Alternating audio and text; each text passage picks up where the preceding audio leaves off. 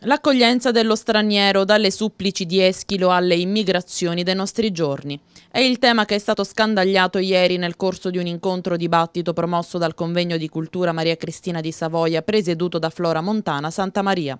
L'evento si è tenuto presso l'aula magna dell'Istituto Comprensivo Statale Enrico Mattei di Gela e rientra nel piano delle attività e delle iniziative programmate dall'Istituto. Come ogni anno l'Istituto Mattei prevede un tema centrale articolato e sviluppato nei diversi ambiti disciplinari. Quest'anno il tema centrale è stato identità e integrazione. Ci sembrava opportuno accogliere l'invito e far sì che questa giornata fosse una giornata di riflessione più per gli adulti, devo dire, perché i ragazzi hanno riflettuto abbastanza tutto l'anno.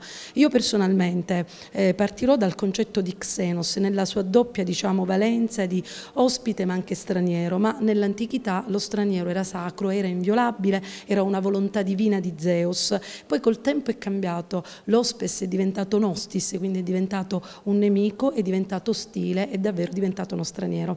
Noi vogliamo dire invece che essere straniero vuol dire la diversità è sicuramente un arricchimento per la comunità. La Sicilia che è sempre stata terra di approdo, terra di accoglienza, che oggi vede tanti disperati approdare nelle proprie coste eh, in cerca di un futuro migliore. Eh, a noi sembra opportuno parlare di questo fenomeno per seguire anche e ascoltare l'invito di Papa Francesco, educare eh, i giovani soprattutto ma anche le popolazioni al, eh, all'ascolto all'inclusione e all'integrazione. Straordinariamente eh, Eschilo 2500 anni fa scrisse una storia che potrebbe essere raccontata tranquillamente dai telegiornali di oggi.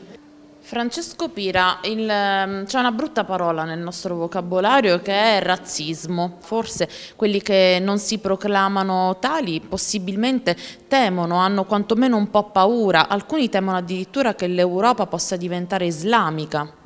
Ma, eh, le dichiarazioni del sindaco di Londra di poche ore fa dicono assolutamente questo, che l'Europa diventerà islamica ci sarà una um, preponderanza eh, di uomini di religione islamica. Ma il tema che io proverò ad affrontare è quello di come noi viviamo il fenomeno migrazione attraverso la percezione dei media. Anche un osservatorio importante come quello della Carta di Roma che doveva in qualche modo garantire i diritti di queste persone, addirittura addirittura provando a chiamarli con il loro nome. Noi facciamo una confusione, una marmellata bestiale di nomi, eh, per esempio il rifugiato lo chiamiamo migrante, eh, la persona che viene qui a cercare lavoro lo chiamiamo extracomunitario.